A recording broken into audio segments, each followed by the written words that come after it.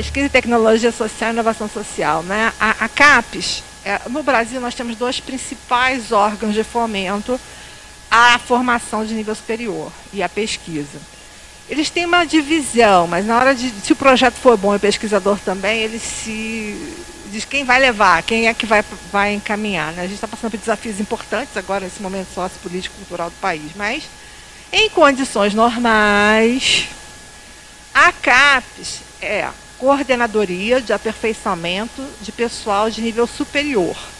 Então, são profissionais de todas as áreas, saúde, humanas, exatas, que querem se qualificar. Então, a CAPES financia os, a, a bolsa para estudar fora, para você fazer pesquisa. Quer dizer, quando você vai estudar fora, você vai fazer pesquisa. Tem alguns detalhes sobre a CAPES. Né? Em termos de, eu vou falar a primeira parte, depois falar a segunda parte da CAPES, que tem uma outra função muito importante também no Brasil.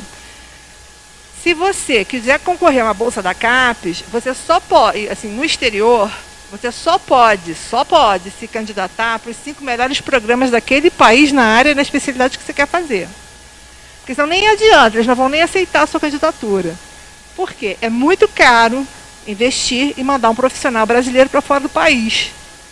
No meu caso, eu fui doutorado pleno, fui fazer doutorado com PhD já, e aí o que acontece? Quando eu me candidatei, eu tinha que mandar a aceitação em uma das cinco melhores universidades do país, no caso era dos Estados Unidos, na área que eu queria, que era geriatria e gerontologia. Então, e eu tinha que, além disso, na entrevista, eles perguntam assim, se você já fez tudo o que tinha que fazer no Brasil.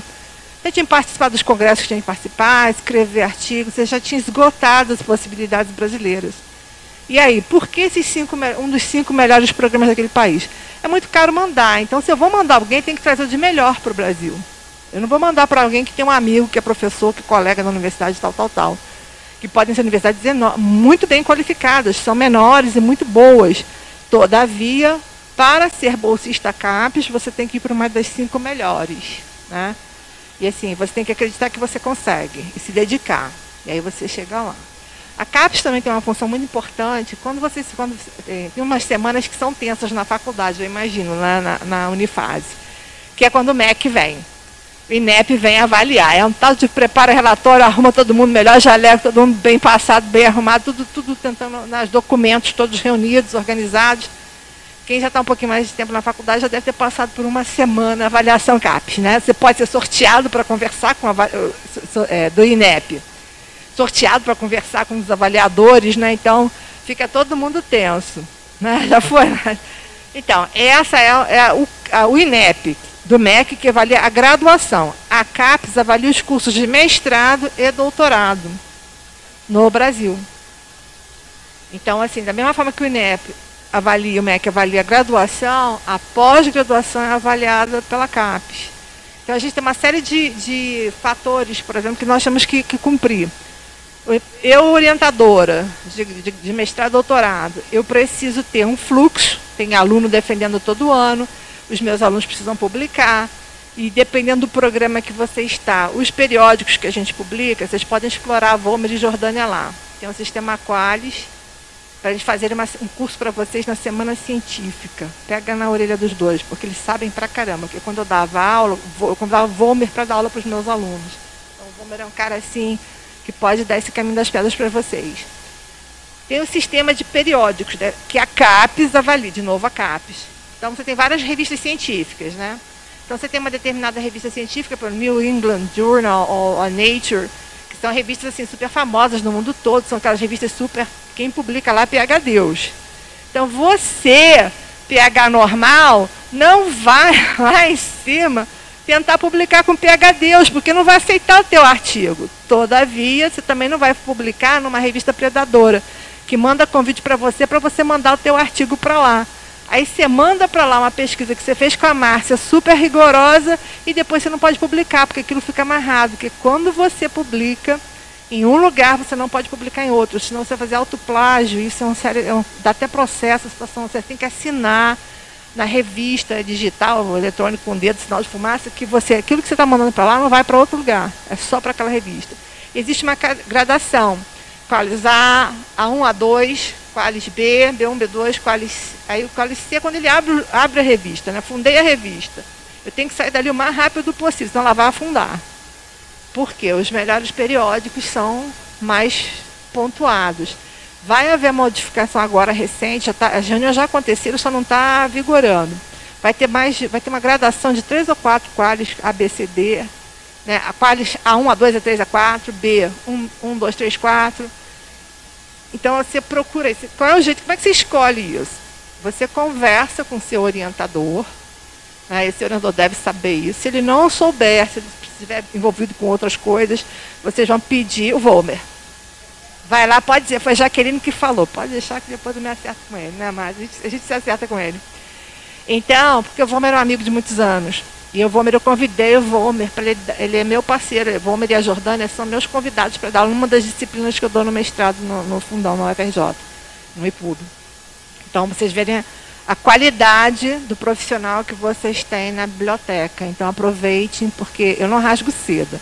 Se eu não acho, eu olho assim, falo, vou, vou embora. Agora, se eu falar, é porque eu realmente acredito naquilo. Pode, pode até estar errado, todo mundo pode errar, mas eu acho que depois de tantos anos, eu não, não vou estar errada nessa. Mas então a CAPES, ela é um órgão de fomento à sua formação como profissional de nível superior. Ela é um, órgão que, que avalia os cursos de pós-graduação estrito senso, mestrado, doutorado. E quando você fala pós-graduação, a fiz após. Quando alguém fala assim para gente, da academia, a nossa interpretação, assim, o cara fez especialização. Porque quando ele faz mestrado, doutorado, ele fala que fez mestrado, doutorado. Porque qualquer coisa atualização, aperfeiçoamento que você fizer depois que você colou grau, é pós-graduação, porque você colou grau, você já é graduado. Agora, quando é estrito senso, é mestrado, doutorado. Então tem essa diferença. A CAPES avalia todos os cursos estrito senso. Os cursos de especialização são avaliados pelo MEC.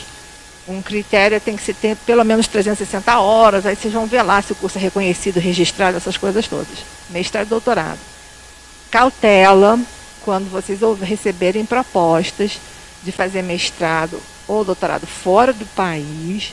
Com aquela, ah, não, é híbrido, você vem aqui, passa uma semana e depois você faz aquilo e não consegue registrar o diploma, porque aquilo não é reconhecido. Então, muita cautela com as opções no futuro. Porque viva a internet, a gente, assim, a Covid foi ruim para tantas coisas, mas ajudou, nos ajudou muito a acelerar esse processo de, de, de, acesso digital, de mais conforto, de aulas que não necessariamente precisariam ser presentes. Agora, isso aqui tem que ser presente, que esse paciente, entendeu? É, é, vocês vão conseguir fazer até a página 15 nos atendimentos online. Mas depois da 16, você tem que estar lá junto com ele. Porque o colorido, a posição, o suor, a pessoa às vezes transpira em cântaros naquela, naquela, naquele primeiro contato com você profissional de saúde. Isso já é, já é um monte de informações para você. Né? Então, voltando aqui, só para a gente fechar, a CAPES é uma possibilidade de pós-graduação, mestrado, doutorado, mas ela só te manda para fora se você já tiver esgotado todas as possibilidades no seu país. Entendeu? Então, tem que participar de congressos, sim, tem que apresentar trabalho, tem que ter discussões clínicas com colegas, tem que estar atualizado, né? Nas sociedades, especialidades, se você optar por uma. Então você tem que, porque você vai ser perguntado por isso, você vai ser arguído. Se você chegar na entrevista, até chegar na entrevista, ele olha teu currículo, teu raio-x de tórax, quase assim, né? O código de barras, avalia tudo em você. E aí depois você chega lá. Então essa é uma das funções da CAPES. A outra é a avaliação dos cursos estrito senso, e a outra forma, a outra avaliação é, por exemplo, classificação desses periódicos. Né? Qual é a qualidade desse periódico? Então, às vezes tem um periódico internacional que ele tem uma, uma um índice H, um, um, JCR muito alto. São índices que o Vomer pode dar tudo isso para vocês, essas, essas legendas. Jordânia também. O que acontece?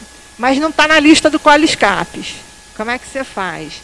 Talvez nenhum brasileiro ainda tenha conseguido publicar lá. Se você for o primeiro, ele vai passar a fazer parte, entendeu?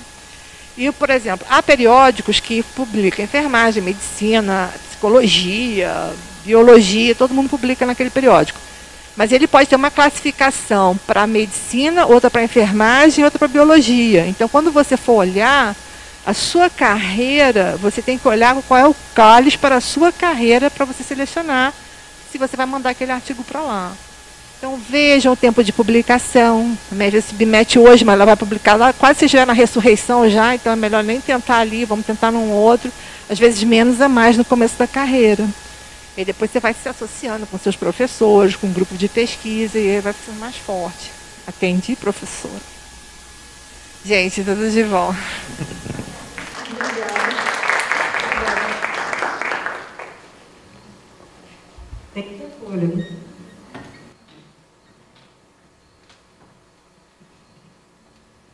Então, é, eu pedi à professora Jaqueline para explicar para vocês sobre a CAPES, porque ela trabalha direto com isso.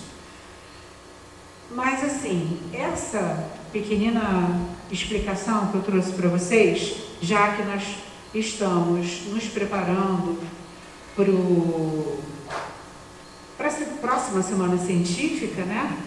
A proposta de vocês aqui na Liga é de desenvolver alguma alguma iniciação científica e a gente vai ter que ver se as ideias de vocês, é, se eu tenho condição de supervisionar, senão eu vou dizer, olha, é melhor com o professor tal, porque cada um tem uma ênfase de trabalho, né? Então, por esse motivo, eu trouxe isso aqui para explicar para vocês umas coisinhas. Por quê? é, nas diretrizes curriculares nacionais de ensino superior, né, e dentro da medicina, existem é, algumas solicitações, isso é de 2014, existem algumas solicitações que são relativamente novas e que vocês não sabem e que coincidem com os trabalhos que eu faço e que vocês também não, não sabem.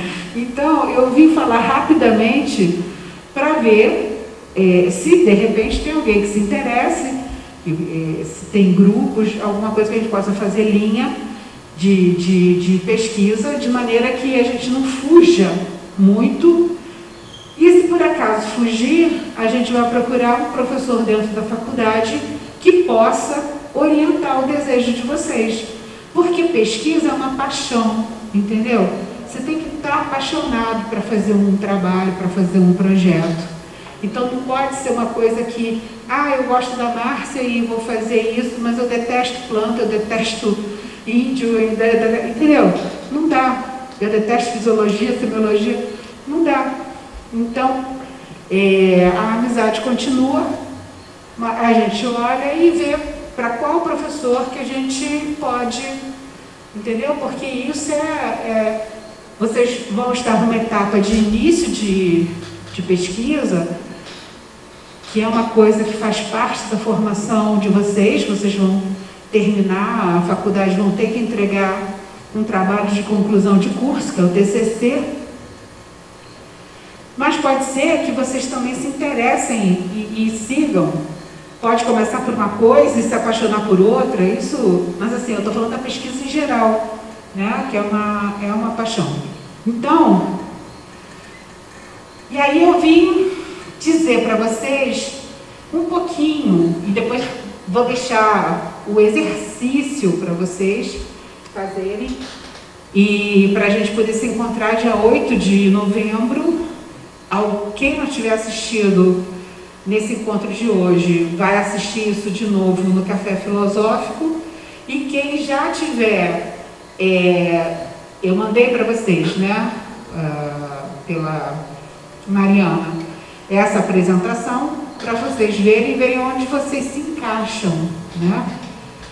E para a gente, depois do café, conversar um pouquinho para já ir definindo, porque a gente está terminando o ano, daqui a pouco vão começar as provas e aí a gente só vai se encontrar no ano que vem, né?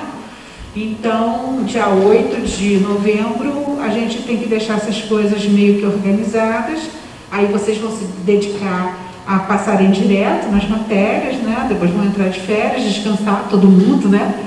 Vai descansar e aí depois a gente volta com fôlego e, e, e avança nas ideias, tá bom? Então, a gente vai falar um pouquinho de pesquisa, de tecnologia social e inovação social, que são termos que estão ligados a CAPES, tá bom? Então era muito importante a, professora Jaqueline, com a experiência que ela tem, explicar um pouquinho, falar um pouquinho da CAPES, tá? Que a, a, relação que eu tenho com a CAPES é diferente da relação que ela tem com a CAPES. Né? Eu estou fazendo serviço e ela está orientando serviço, é outra coisa. Então, é, eu estou falando aqui como professora da Unifase, como membro do projeto de saúde ambiental, parasitologia e bioética, da, do Laboratório de Imunoparasitologia e Análises Toxicológicas.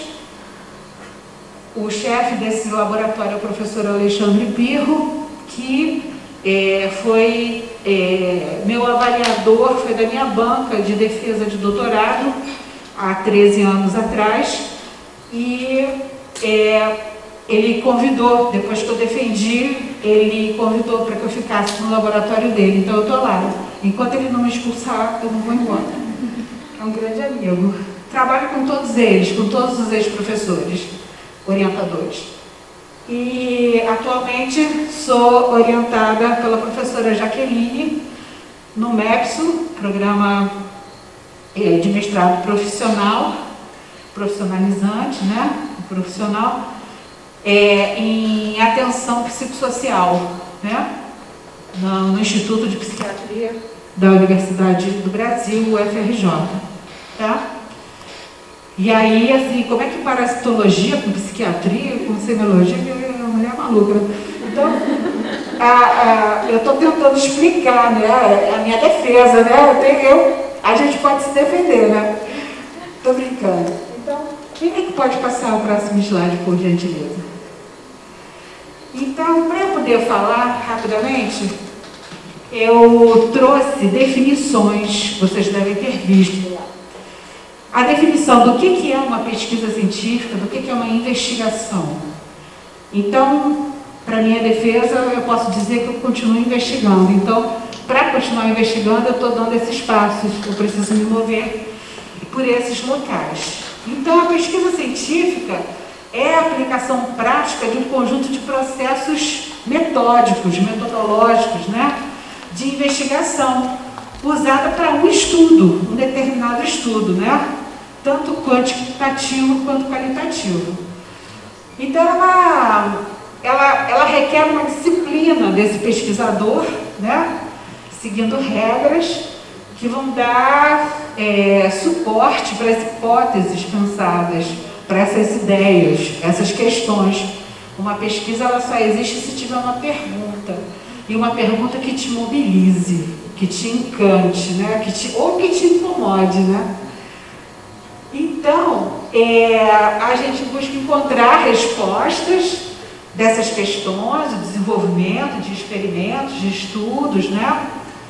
Tudo começa com um estudo de revisão bibliográfica para a gente saber o estado da arte, né? Será que alguém já perguntou sobre isso, já pesquisou sobre isso? Que a gente não vai é, reinventar a roda, né? A gente vai seguindo, é uma construção. A gente fala que é um conjunto de tijolinhos, né? Então, a gente só vai botar mais um tijolinho e depois vai vir alguém e vai botar outro tijolo. E aí as coisas vão crescendo, né? E não quer dizer que aquilo que a gente tenha feito é, esteja errado, só que ele pode se tornar superado, entendeu? É, é aquilo que alguns filósofos da ciência também falam da falseabilidade, é aquilo que você pode refutar, aquilo que você pode questionar, né? Mesmo que esteja corretamente, mas ah, de repente a fisiopatologia é mais para cá, não é aqui, entendeu? Então, é, já dá para entender que um pesquisador ele não pode ser arrogante. Não rola. Porque você o tempo inteiro é criticado, você o tempo inteiro se autocritica, se questiona. E você sabe que você está fazendo aquilo tudo, vai chegar num ponto, vai parar, porque você não tem fôlego para tudo, não, não tem todo conhecimento também. E aquilo que você fez, em algum momento poderá ser superado, porque é a vida. A vida é evolução, né? São as novas, é o novo celular. Você acabou de comprar um, mas já tem outro mais novo. Entendeu? É assim. Então, é, a gente vai estar sempre é, associando, né? Esse, essa última parte aqui é muito importante e ela tocou muito bem nisso, que você é, tem os resultados que são para a comunidade científica, né? Eu, por exemplo, vim da pesquisa básica, né? Eu estou fazendo pesquisa básica, mas aquela pesquisa básica ela pode dar suporte para algum outro trabalho de outro pesquisador que vai chegar na comunidade, né? Então a gente também busca esses resultados que sejam de interesse social. Pode passar. E por isso que eu estou lá na atenção psicossocial, porque o meu trabalho de anos, 25 para 30 anos, ele foi passando, cumprindo as etapas e está chegando na assistência social, está voltando. Então, é, aproveitando a aula que as meninas deram, a questão do infarto agudo, eu peguei o mapa mental né, do infarto agudo, você pode fazer várias perguntas, como a gente fez aqui, e transformar em pesquisa.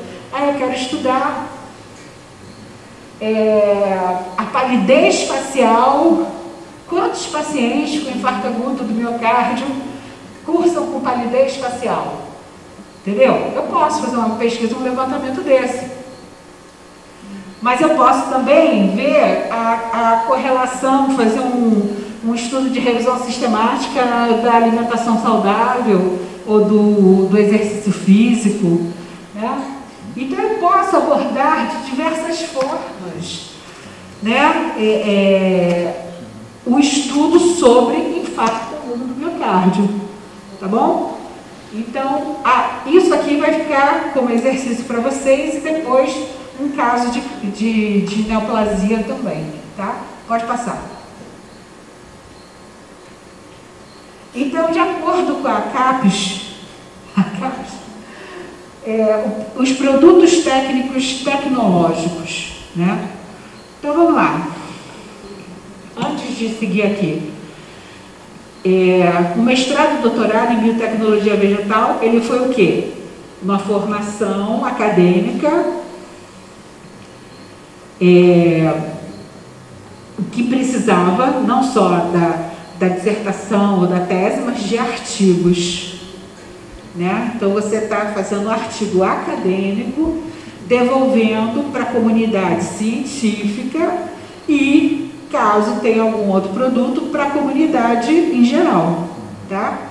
Mas você tem que cumprir esse primeiro requisito da publicação acadêmica. Entenderam? Eu já fiz tudo isso lá atrás. Eu já devolvi para a comunidade acadêmica o que eu tinha que devolver. E aí passei para os produtos técnicos tecnológicos, porque como a minha formação em ciência é em biotecnologia e biotecnologia vegetal, então a gente o tempo inteiro trabalha na parte tecnológica. Muito bem, então nesse eixo 1, onde a gente trabalha com produtos e processos. Então aqui com os alunos nós fizemos estudo de bioprocessos. Os alunos da Liga trabalharam com bioprocessos em cultivos, observando desenvolvimento vegetal, desenvolvendo estudos ecofisiológicos na discussão de fitoterápicos ou de plantas tóxicas, tá? Deu para entender? Muito bem, então a gente está sempre com esse perfil alinhado com a produção técnica e tecnológica, tá bom? Pode passar. Então, os nossos produtos aqui produzidos, com os alunos de iniciação científica, eles tiveram uma finalidade de desenvolvimento social, não só científico ou tecnológico, mas um desenvolvimento social, é, uma visão política, não no sentido de político partidária, mas uma visão ética desse tipo de trabalho, né? E econômica, que nós trabalhamos na parte da bioeconomia. Pode passar. A CAPES traz eixos que ela valoriza. Eu estou trazendo os eixos da CAPES para vocês entenderem, porque quando eu digo assim, É, os artigos que eu precisava fazer para a comunidade acadêmica eu já fiz. Eu agora trabalho com produtos tecnológicos, tecnologia social, inovação social. Eu estou dizendo para vocês que eu continuo trabalhando dentro da linha científica, porque isso está dentro do que ela, a própria CAPES, autoriza. Ela mesmo avalia, tá? Então, é, dentro dos produtos e processos, é, a gente tem desenvolvimento de material didático e instrucional, que está lá no, no, tanto aqui na Unifase quanto no Instituto Nacional de Propriedade Industrial, onde eu fiz o pós-doutoramento, e no SAPV. Desenvolvimento de tecnologia social são produtos sociais, mesmo que sejam simples. É, uh, um produto técnico ele vem da experiência daquele profissional junto com outros parceiros. Então a gente tem produto técnico, o Cláudio, por exemplo, presidente da Liga, tem comigo com a Jaqueline um produto técnico ligado na parte de agrotóxico. Inclusive, uma parte desse produto técnico ele submeteu e foi um trabalho aprovado para a Semana Científica desse ano. Né? Nós temos diversos produtos, são 13 anos fazendo o produto técnico, né? É, o desenvolvimento de tecnologia social. A tecnologia social é quando você está promovendo, através de alguma coisa técnica, o desenvolvimento de uma pessoa ou de um grupo. De um grupo. Tá? É, processo e tecnologias não patenteáveis, que é com o que eu trabalho porque eu trabalho, quando eu estou pesquisando planta, ou quando eu estou pesquisando homeopatia, ou alguma outra medicina complementar, é, eu estou trabalhando com a planta inteira. A planta inteira é um produto da natureza. Por exemplo, eu não posso patentear uma limonada, mesmo tendo vindo da árvore, do limoeiro, porque não tem um caráter inventivo eu peguei aquilo, espremi, botei na água, misturei. Não tem caráter inventivo. Mas tem um caráter social, tem um caráter histórico, tem um caráter geográfico. Tem diversas outras coisas na hora em que eu estou trabalhando com uma planta inteira que não é patenteável, mas que gera produtos técnicos. Porque eu já fiz com alunos lá do passado, não, não foi da Liga, nós fizemos levantamento de, de intoxicações por plantas no Rio de Janeiro. Nós fizemos levantamento de é, plantas que intoxicavam animais no estado do Rio, no estado do Rio de Janeiro. Fomos no Centro de Informações Toxicológicas da Fiocruz, que fica na UFRJ. Fizemos diversos estudos que são informações importantes, porque a gente não tem fitoterapia na nossa graduação de medicina, na maioria das faculdades. Né? Então, são informações que estão gerando e que estão trazendo progresso científico. Produção de acervos através de diversos livros, e-books, eventos. No eixo. Ah, e, e determinadas informações, mesmo sendo tecnologia social, elas não foram publicadas porque como nós trabalhamos com ciganos, com indígenas, quilombolas, nós não pesquisamos essas pessoas, nós trabalhamos juntas com essas comunidades. É diferente, entendeu? Eu não estava fazendo uma pesquisa daquele grupo, eu estava fazendo, trabalhando no sentido de autonomia financeira, resgate cultural. Então eu estava trabalhando com eles em forma de sujeito e não de objeto de pesquisa. Então eu jamais vou publicar, porque isso não é ético, não é correto. E a confiança que eu tenho e a relação que eu tenho com eles está acima de qualquer publicação. Então, é, no eixo 3, nós temos, a, é permitido pela CAPES, a revista de divulgação e publicação em jornais. Então, nós temos isso. Nós temos publicações em jornais de palestras feitas no Jardim Botânico, lá do Rio de Janeiro, revistas de divulgação que não são revistas científicas. Por quê? Porque quando você faz um trabalho com um membro de uma etnia, ele que está trazendo a cultura dele, a tradição dele, ele que tem que ser o primeiro autor. Qual é a, imagina, nós que somos pesquisadores, batemos cabeça para sermos aceitos nas revistas científicas. Você imagina se eu boto um índio como um indígena como primeiro autor, que é o que eu faço. Não porque eu esteja fazendo algum favor, mas porque ele colaborou e fez o trabalho. Ou uma menina cigana, entendeu? Então, o que, que eu, eu, eu, eu tenho que registrar aquele trabalho, senão alguém rouba. Porque está na moda, né? Então, a gente faz essas divulgações pequenas, mas que são consistentes, onde é, onde eles fazem os seus próprios trabalhos. Inclusive, nós temos dois trabalhos que foram premiados aqui na Unifase. E então nós criamos uma revista de apoio, duas revistas de apoio, na verdade. A InfoSapb, que recebem os ensaios que têm uma metodologia científica cartesiana, e a revista Seiva, onde a gente trabalha com aquilo que é cultural, é aquilo que é educativo. E aí eles podem escrever várias outras pessoas, não precisa ser uma pessoa formada, graduada, para escrever, basta ter o saber. Então a gente recebe, então essas revistas dão apoio para a gente.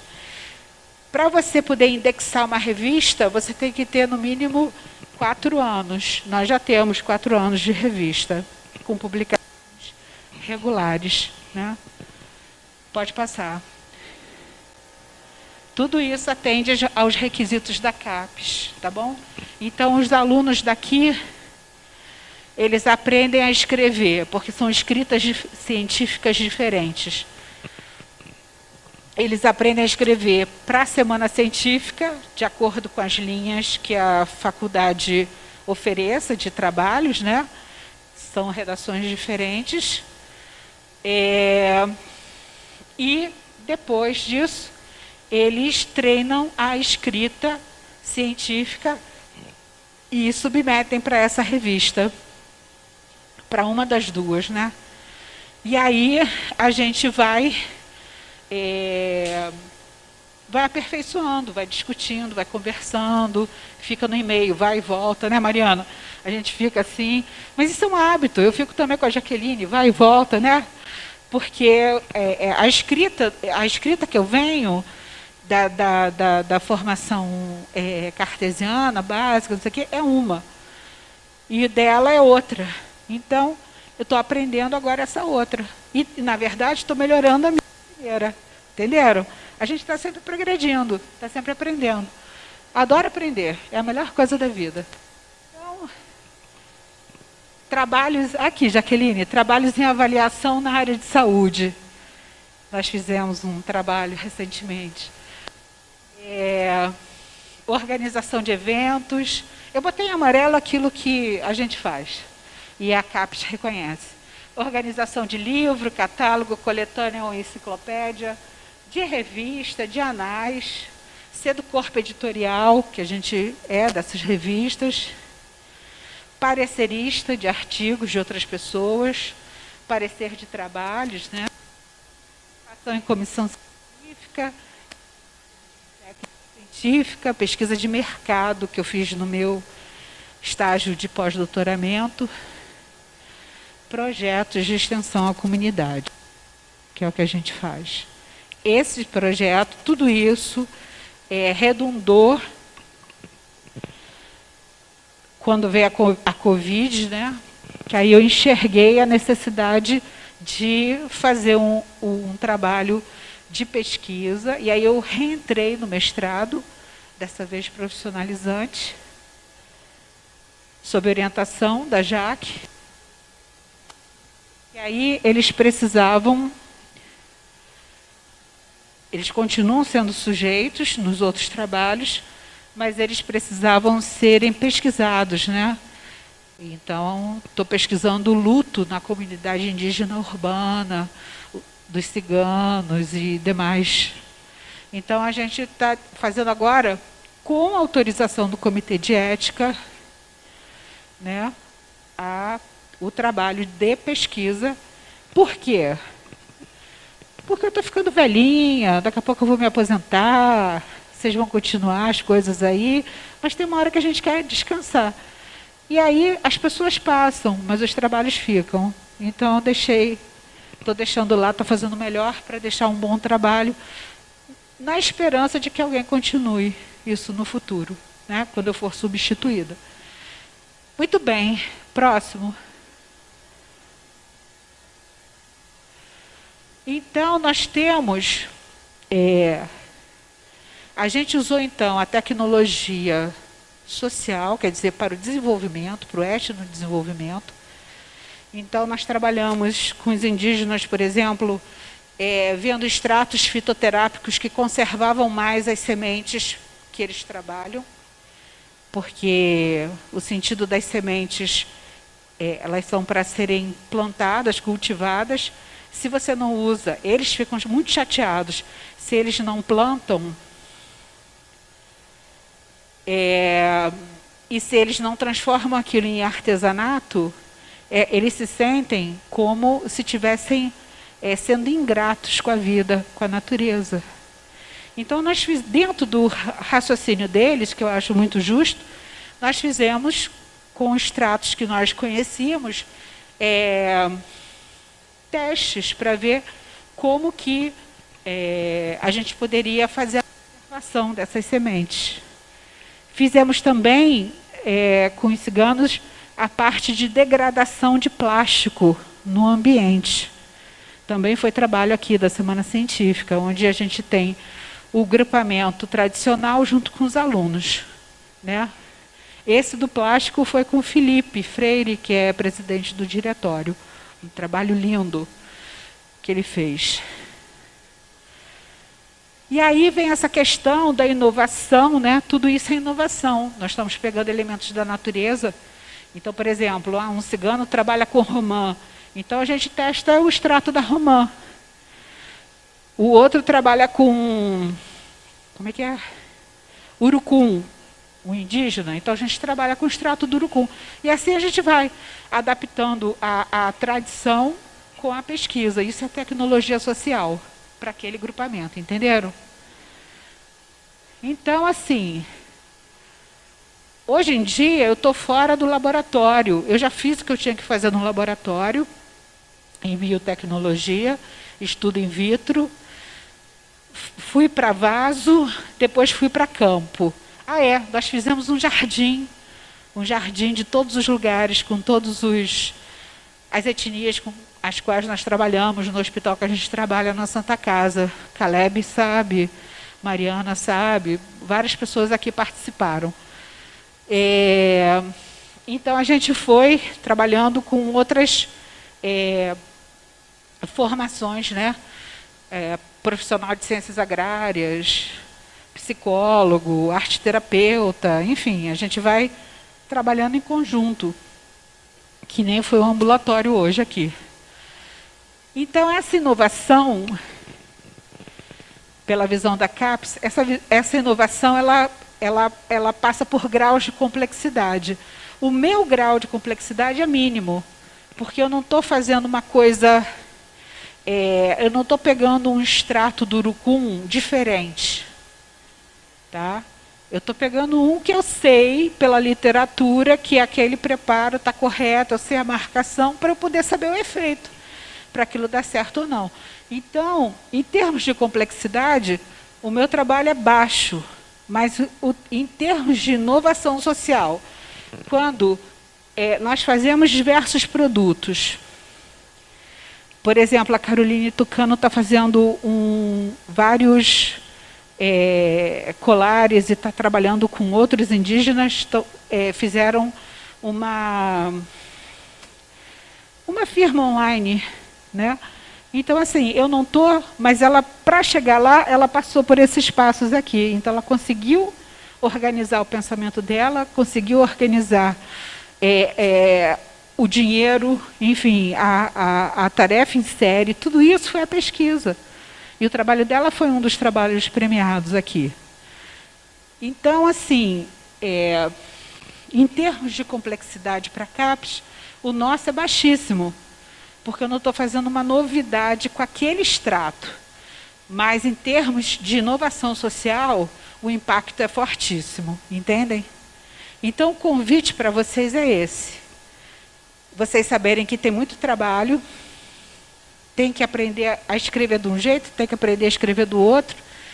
Que, mas o mais importante é pensar o melhor para o próximo.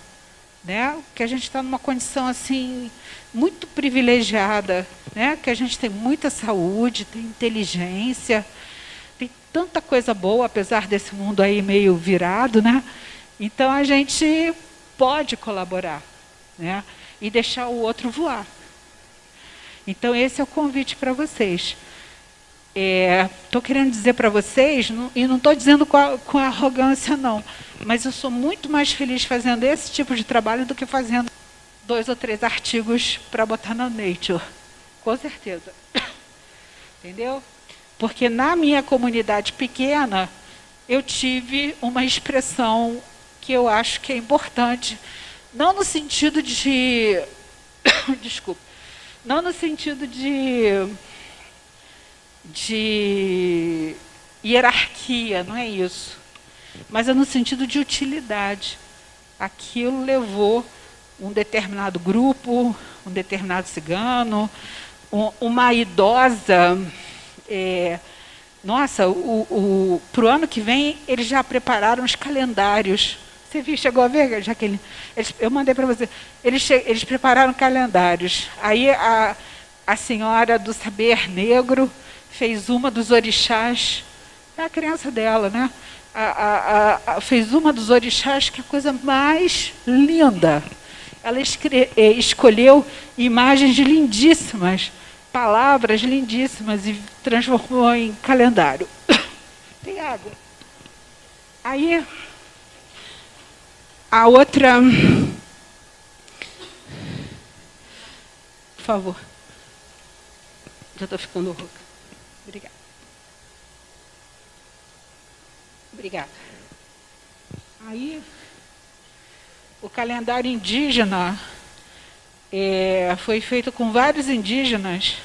Então, a Sateré Maué, que, que é do, da tribo do Guaraná, né, é, colocou o Guaraná colocou as sementes dos colares do artesanato que ela faz, e cada um foi colocando uma coisa, também ficou lindo. Então, assim, a gente faz coisas simples, mas que são muito bonitas e que têm um, um impacto, as pessoas ficam tão felizes, eles ficam tão radiantes, que isso não tem preço. Então, assim, a CAPES é importante, mas a realização da gente é mais ainda. Então, esse é o convite. O meu trabalho é, embora simples, ele é de inovação social. De, e é mais do que inclusão. Inclusão é eu colocar a pessoa ali, mas ela não está fazendo nada porque eu ainda não trato como cidadão.